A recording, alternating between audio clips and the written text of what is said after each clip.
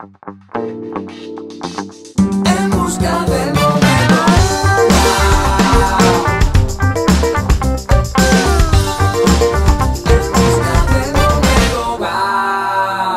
up, Wow La Revista? This is Casper Smart. Make sure you tune in to Premio Lo Nuestro tomorrow and tune in to Mira Quien Baila on Sunday.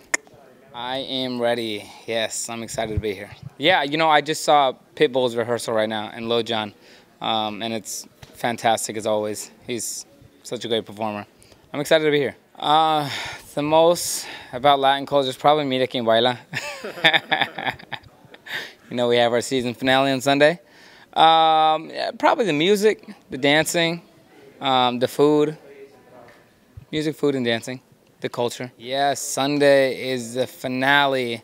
Um, I'm excited because I want to see who's gonna win, but I'm also sad because it's gonna be over. You know, this year was was different.